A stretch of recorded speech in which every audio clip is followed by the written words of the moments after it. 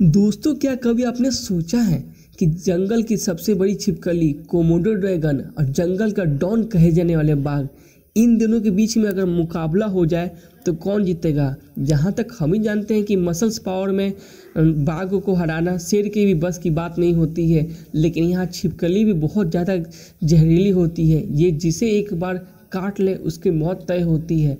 तो इस वीडियो में हम आपको इन दोनों के फाइटिंग स्किल और स्ट्रेंथ के बारे में बताने वाले हैं, जिससे हम सभी तय कर सकते हैं कि आखिर बाघ और छिपकली के बीच में, यानी कि कोमोडो ड्रैगन के बीच में अगर मुकाबला हो जाए तो कौन जीतेगा?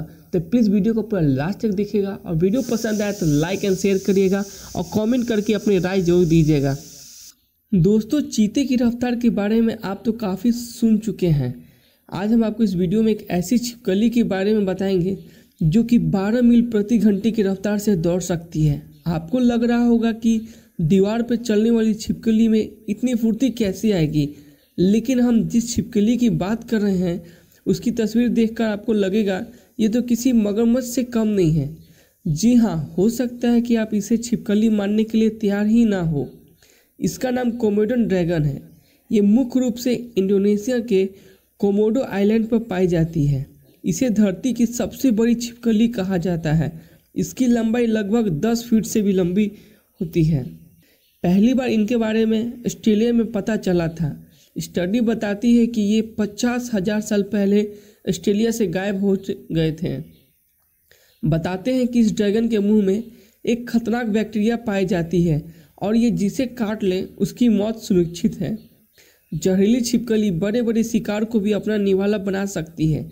ये खूंखार इतनी होती है कि एक बार मुँह में फंसने के बाद जानवर भले ही जान बचा कर भाग जाए, लेकिन इसके जहर से उसकी मौत होनी तय है। ऐसे में ये मस्ती वाली चाल से उस जख्मी शिकार के पीछे गंध सूंघते हुए पहुँच जाती है, क्योंकि इन्हें पता होता है कि वो ज़्यादा दूर नहीं जा सकता। ये बड़े भालू और भैंस को भी मार सकती है। कुछ हाथी विलुप्त हो चुके हैं जिनके बारे में कहा जाता है कि कोमोडो ड्रैगन ने ही उन्हें ख़त्म कर दिया। शिकार करने का इनका अलग तरीका होता। है ये छिप कर इंतज़ार करते हैं। जैसे ही कोई जानवर करीब आता है तो ये जहरीली मुँह खोल कर लपकती हैं। इनके साठ दांत होते हैं और इनकी स्किन के नीचे छोटी छोटी हज़ारों हड्डियाँ होती है। ऐसे में इनका शरीर खुद ही ढाल का काम करता है। ये अपने वज़न का अस्सी फ़ीसदी मांस एक बार में खा सकती हैं। इनका पाचन प्रक्रिया स्लो होता है। ऐसे में ये एक बार शिकार करने के बाद धूप सेकती हैं, जिससे वो पच जाए। एक बार खाने पर ये महीने भर ऐसे ही रह सकती है। ये इतने बड़े शिकारी होते हैं कि छः मील दूर से ही सूंघ लेते हैं और ज़मीन पर चलते समय दफन सौ को भी नहीं छोड़ते हैं। तो दोस्तों, उम्मीद करते हैं कि अब तक आपको समझ आ चुका होगा कि कोमोडन ड्रैगन कितना खतरनाक है और आप कभी भी इनका सामना करना नहीं चाहेंगे, क्योंकि ये काट लें तो आप चाहे तो वहाँ से बच के निकल सकते हैं, लेकिन आपकी मौत तय है। तो वीडियो पसंद आई तो प्लीज़ वीडियो को लाइक एंड शेयर करें और हमारे चैनल को सब्सक्राइब करके हमें सपोर्ट करें।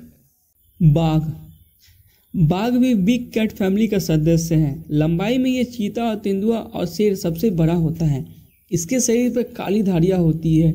ये शरीर सफ़ेद, नीला और नारंगी कलर का भी होता है। इससे ये आसानी से पहचान में आ सकता है। ये शेर की तुलना में काफ़ी भारी होते हैं, साथ ही अधिक फुर्तीले भी होते हैं। ये अपना शिकार अकेले करते हैं। ये भी तैरने में माहिर होते हैं। दक्षिणी पूर्व एशिया, चीन और भारत में पाए जाते हैं। ये भारत के राष्ट्रीय पशु हैं। इनकी लंबाई सात से दस फीट तक होती है। ये पचासी किलोमीटर प्रति घंटा की रफ्तार से दौड़ सकता है। ये अपना शिकार करने के लिए सात फीट तक ऊँची छलांग लगा सकता है। तो दोस्तों, अब तक आप तय कर चुके होंगे कि आखिर कोमोडो ड्रैगन और बाघ के बीच में मुकाबला होगा तो कौन जीतेगा। जहाँ तक मसल्स पावर की बात है तो बाघ की मसल्स पावर के आगे तो शेर भी नहीं टिक पाता तो ये इतना जल्दी कैसे टिकेगा?